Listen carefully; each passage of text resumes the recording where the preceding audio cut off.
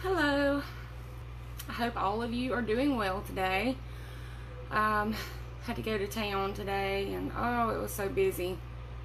Just taking care of errands, and uh, I feel like I'm just pooped, worn out. But I'm going to deny my flesh and go ahead and uh, do our Bible study today.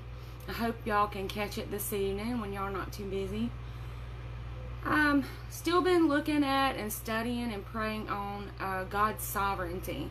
And I know the last video we taught, we learned about God's sovereignty, but there's a lot more to it. So I'm just gonna just ask God to be with us right now. Father, we just thank you, Lord, for this day. Thank you, God, for all of our many blessings, Lord, that you have given us. Thank you for our health and our mind, Lord, for a right spirit being within us. God, I pray that you would open our ears and our hearts to your word today. Pray that, God, you would use my mouth as an instrument, Lord, for uh, to just speak your speak your word, Lord, as you would want me to teach it. In Jesus' precious name, amen. So, um, I go through, let me turn this fan off for just a second. I go through things like I'm sure many other people go through, like uh, insecurities. Um, insecurities in a lot of different areas. So, one of my insecurities that I will share with y'all is an insecurity of not being able to reach people through my teachings, to not do it right, or not be good enough. Um, so, anyway, I've been dealing with that for a couple months now.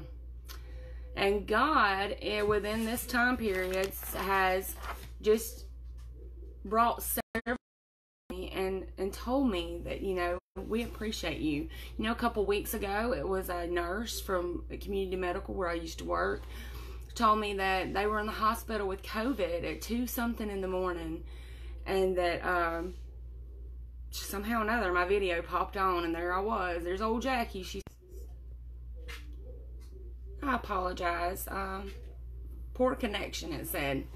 It is really windy outside, so maybe that's the connection problem. But anyway, my point is that she was like, Well, there's old Jackie, you know, and so she listened to it and said that she was really encouraged. And a couple other people has mentioned that to me. And then today I walk in Walmart and this lady, she's like, Hey, I don't know you and you don't know me, but I see your writings and hear your teachings, and I want you to know that they inspire and bless me. And I'm not quoting her word for word. I can't, you know, it was going right into Walmart, and so a lot of stuff going on then. But anyway, it's just over and over and over. My father has confirmed to me that he is more than enough through me, and that makes me more than enough. So, with him teaching through me, it doesn't matter if five people listen, if one people, one person listen and and uh, is blessed through it, encouraged, inspired through God's word. Um, that's enough. So God's in control of all that, but that was one of the examples about overcoming insecurity due to God's sovereignty. The sovereignty of God means that as ruler of the universe, God is free and has the right to do whatever he wants to do. He is not bound or limited by the dictates of his created beings. Further, he is in complete control over everything that happens on earth. God's will is the final cause of all things. All things, y'all, good or bad. It's not about how we think of it, how we may see it. It's about God's will and the sovereignty of God and how God's will is the final cause of all things. Okay, we worry about our finances, our job security, whether or not our marriage will make it, our health, our children, what will happen in our old age, our investments, and a whole lot of other personal issues that sap our mental, spiritual, and physical security. And we all have to deal with these issues. We must always remember that God not only knows the big picture, before we were born and even after we're gone. He also concerns himself with the tiniest details of us and our lives. Thank you, Jesus. Not nothing surprises him or catches him off guard. Here are five statements that I found that unfold the meaning of God's sovereignty in more detail.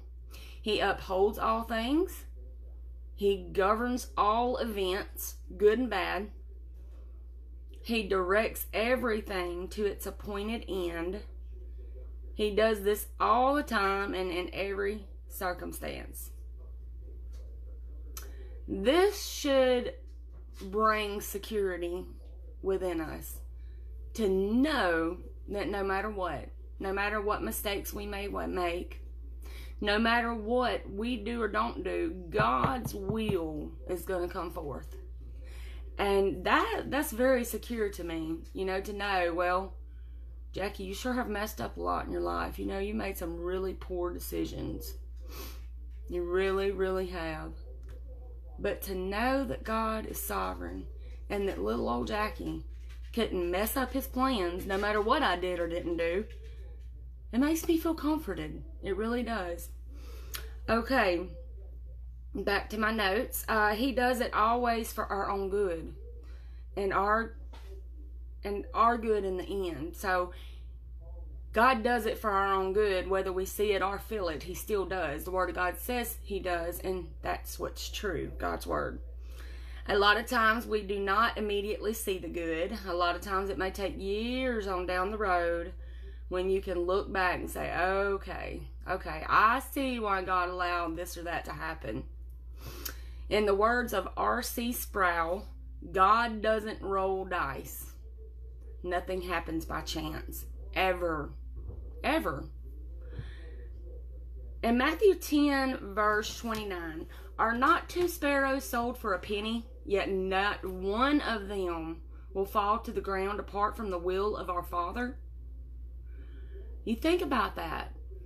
If you check your Bible dictionary, you'll discover that sparrows are among the humblest birds in Bible times. They were considered food for the poor, and because they were so cheap, the poor could offer them in sacrifice to the Lord if they couldn't afford a lamb or a goat or a bull. You could buy two sparrows for one penny.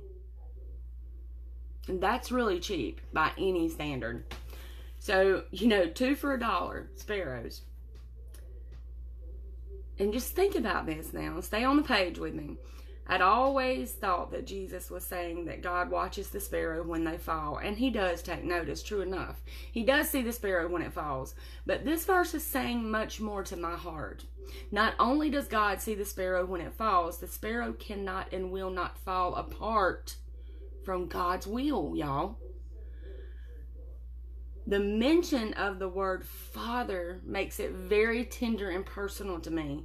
It's not as if sparrows fall at random from the trees and God takes note when it happens. Up oh, there's another one. The sparrow falls because God willed it to fall. And if he didn't, the sparrow would never fall and hit the ground.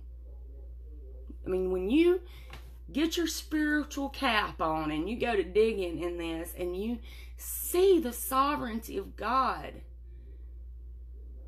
I don't feel like such a failure all the time. You know, when I see that God is in full control. Now, note these two implications of this truth. Even the little sparrow falls to the ground eventually. Sooner or later, troubles do come to all of God's children. All of us. We're not exempt. Sometimes we fall into the thinking that coming to Christ will solve all of our problems so that we will be free from trouble and sadness. Not so. Not so.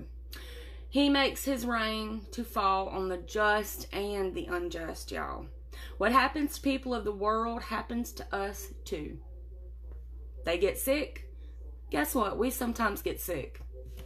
They lose their jobs. We sometimes lose our jobs. They have family problems we have family problems.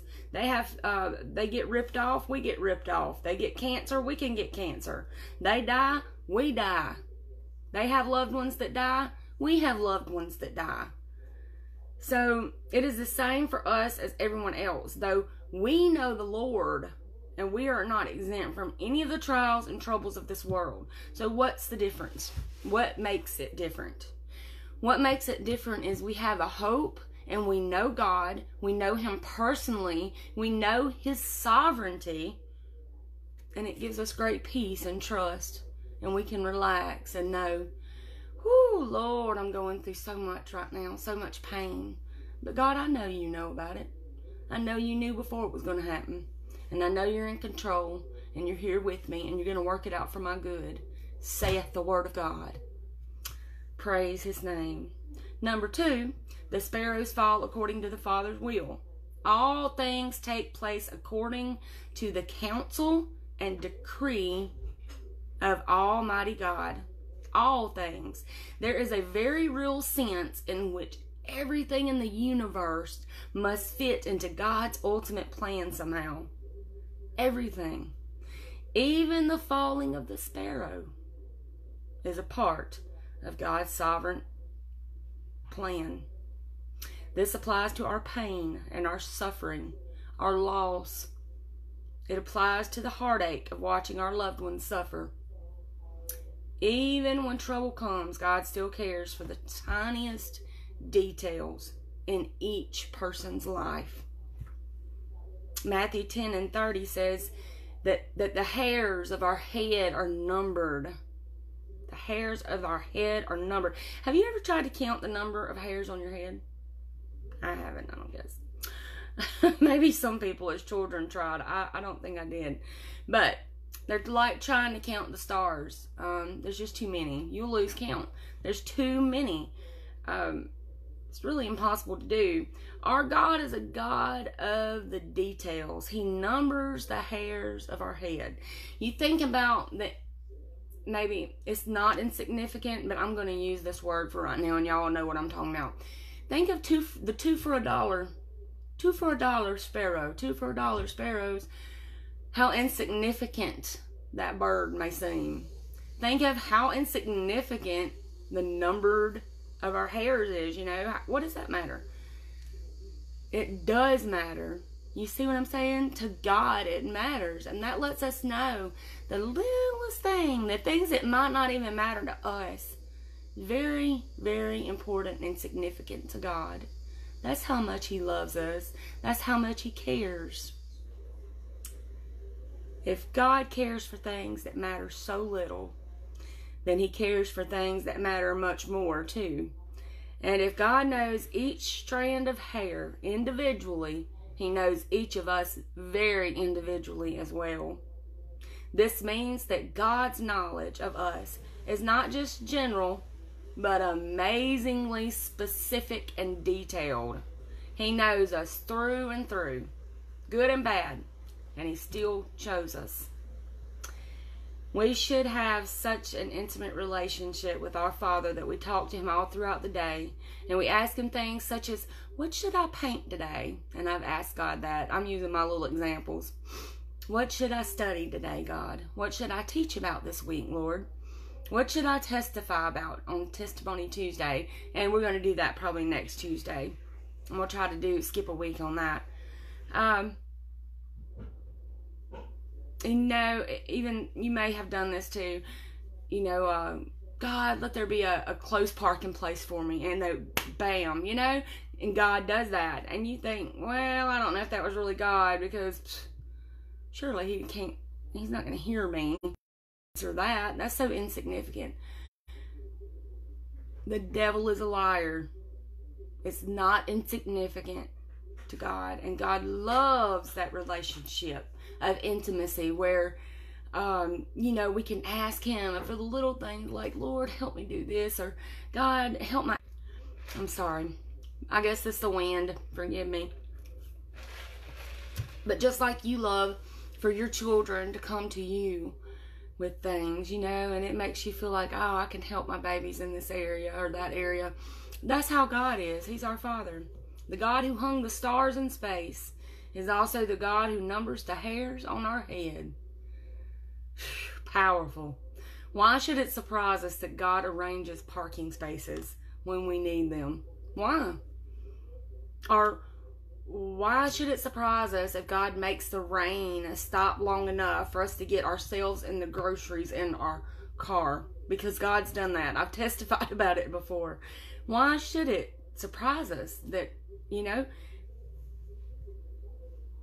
it is no harder for God to provide something large or to provide something small. Neither one is small or large to him because he's so grand. He's so big, y'all. We can't even grasp it. Matthew 10 and 31 says, So do not be afraid. Don't be afraid. You're worth more than the sparrows. We can trust him. We can trust Jesus. no matter how big, no matter how small, no matter if it seems insignificant. You take it you take it to God. He does hear us. And he does love us, and he will answer our prayers. So tiny little sparrows tiny little sparrows. Yes, we are worth more to God than them. So we're almost done. What then should this truth do for us? How should this help us? It should give us a boldness in knowing that we are a child of God. And if God is for us, and He is, why should we fear anything or anyone? It should give us confidence in the moment of uncertainty. Today, many things are unclear, uncertain, and undecided in this world. We all have many more questions than we have answers. We have confidence and security in God to know his faithfulness and that he and that we can trust him even when we may be in a fog. We can trust him. Keep your chin up and keep moving forward. Things that are unclear now will be made clear in the end. Our God will make all things plain, and all his ways will be proved right, saith the word of God. It should give us hope in times of sorrow. This knowledge of His sovereignty should give us hope in times of sorrow. Oh, we weep. All of us weep. The tears flow behind closed doors. And this is true. And in the private moments of our life, yes. When we face death, how can we not weep? How can we not weep for our loved ones? and that we've been left behind. How can we not? Well, God's word says, Be of good cheer. Even death itself is in God's hands. If you're a Christian, you cannot die before God's appointed time. You cannot die apart from God's appointed time. A Christian is immortal until his work on earth is done. So, why should we shake? Why should we fear? Let the word shake and fear, you know, be cast away. It is for us to be calm when others are giving way to fear. Our security is in Jesus Christ, our sovereign God. The bottom line is do you believe God ordained all things according to his will, according to his purpose, according to his time? Do you believe that? If so, then there is no such thing as a little little luck or fate or chance or hapstance. None. Let this great truth be a source of your security. Rest in Christ Jesus. It's not luck or chance. Whoever's watching this video, maybe we tonight, a year from now, it's not by chance. God wants you to hear His word, to know His sovereignty, so you can be at rest. So you can be at rest and not fret and worry about this. God's got it. He really does. Even when it seems like you don't, God does. He has it. I love y'all and I thank y'all for today, for joining in. I just pray that God uses this teaching to touch a very deep part of you and to help you to see that you can rest in Christ Jesus. I love y'all. See y'all next week. Be sure to share.